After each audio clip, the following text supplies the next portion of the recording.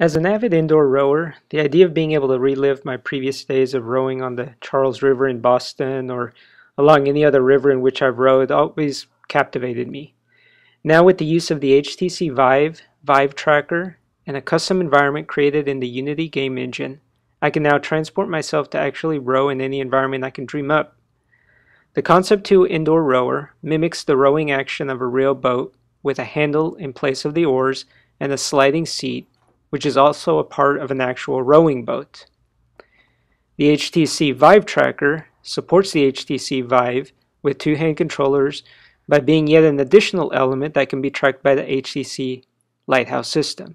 In this application, I have it attached to the indoor rower's handle. Using the Unity game engine, the tracked Vive tracker is linked with scripts that control the rotation and translation of the oars. To further enhance the experience, the initial position starts in a static state with no movement.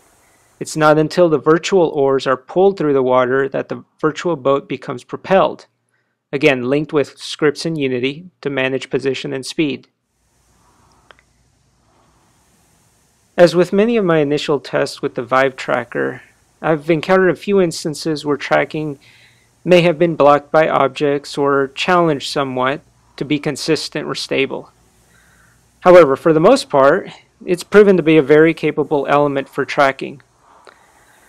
Aside from finding opportunities to stabilize tracking even further, I aim to continue enhancing the virtual environment with more interactivity, such as a heads-up display, similar to the one on the actual indoor rower that informs distance, speed, and other metrics.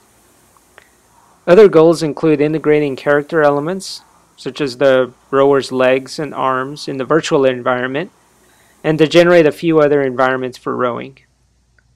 Without a doubt, this has been one of the most fun projects that I've had a chance to work on.